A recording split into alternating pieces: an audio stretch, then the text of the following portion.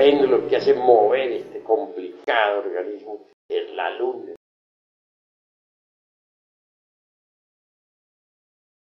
La humanidad, partiendo de ese principio, es completamente mecanizada. Cada día se torna más y más mecanizada. Eso es obvio.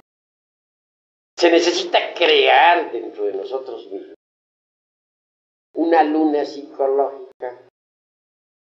Solo así podríamos dejar de ser mecánicos. Dentro de nosotros, hoy por hoy, lo único que tenemos es un centro de gravedad mecánico.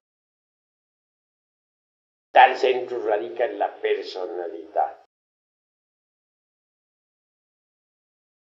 Obviamente, en nuestra personalidad está lo que nos enseñaron, el ejemplo de nuestros mayores en la familia, lo que aprendimos en la escuela, en la calle, en el restaurante, en la cantina, etc. Todo eso constituye la personalidad. Ahí tenemos nuestro centro de gravedad. Mientras más brillante sea una personalidad, mientras más cultivada se encuentre, tanto más resalta y los demás la respetan. Se respeta a los grandes plenipotenciarios, a los grandes embajadores,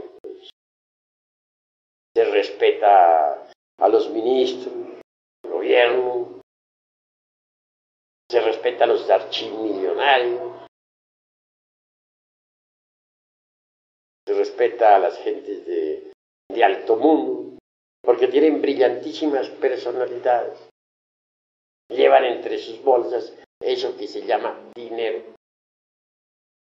Algunos poseen fascinante cultura intelectual y esto les, hace, les torna más eh, mm, brillantes en apariencia. De manera pues que nuestro centro de gravedad hoy por hoy está en la personalidad. Desgraciadamente. Al que no tiene dinero, pues, no se le respeta. En Nueva York sé que existía un letrero que decía, ¿quién eres tú? El dinero habla por ti. Tanto tienes, tanto vales. Si no tienes dinero, consíguelo, trabajando. Y si no lo consigues trabajando, siempre consíguelo. Ese puerto, ese, ese aviso ese letrero existía en, Nueva York. No sé si todavía existía, pero existía. Esa es la humanidad.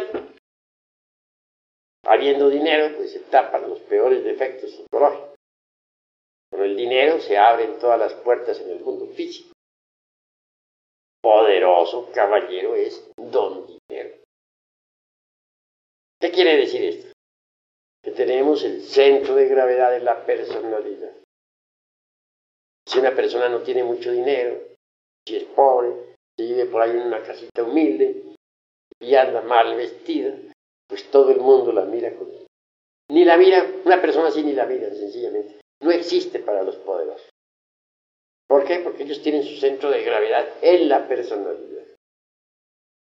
Y si otros tienen un centro de gravedad muy pequeño, muy débil, ni se les toma en cuenta. Esto significa que hay centros de gravedad más fuertes que otros.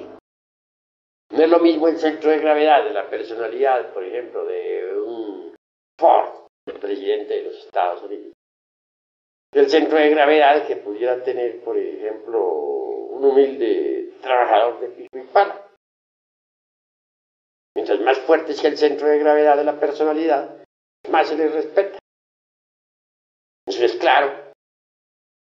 Pero ese centro de gravedad es completamente mecánico.